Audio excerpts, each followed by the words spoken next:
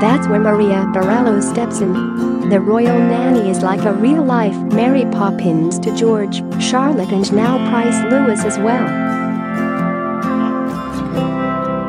Professionally trained at one of the most prestigious colleges for carers in the world, Maria's services don't come cheap. You may have seen her accompanying the children to a duck pond, sporting a brown bowler hat, and wondered why she's wearing it. Well, we've got you covered. Here's what you need to know about her. Who is Maria Borrallo? Her full name is Maria Teresa Turrion Borrallo. The nanny hails from Palencia in Spain and is in her 40s. She was appointed to the family in 2014 when Prince George was just 8 months old. Maria now lives with the family at Kensington Palace and travels with them on all royal tours and visits as a discreet presence. She can often be seen accompanying the children to the round pond at Kensington Palace of stone's throw from her quarters. Her private living space includes a bedroom, kitchenette, lounge and bathroom.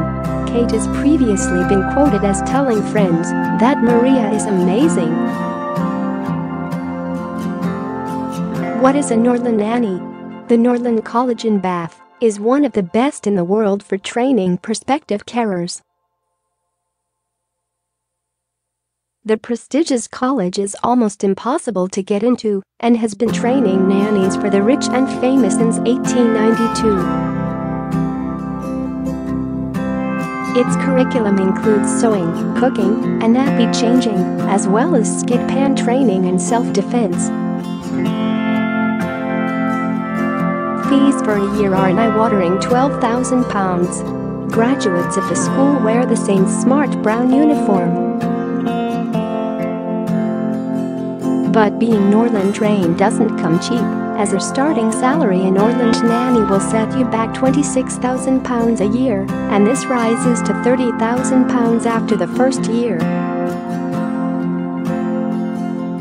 This is compared to an ordinary nursery nurse's salary, which can start at £10,000 to £12,000 a year. Why she always wears a bowler hat each day to work Maria wears a 50s-style nurse's dress, which she pairs with brown brogues, white gloves and a brown bowler hat. It is the signature uniform of a Norland nanny. Read more The Royal Family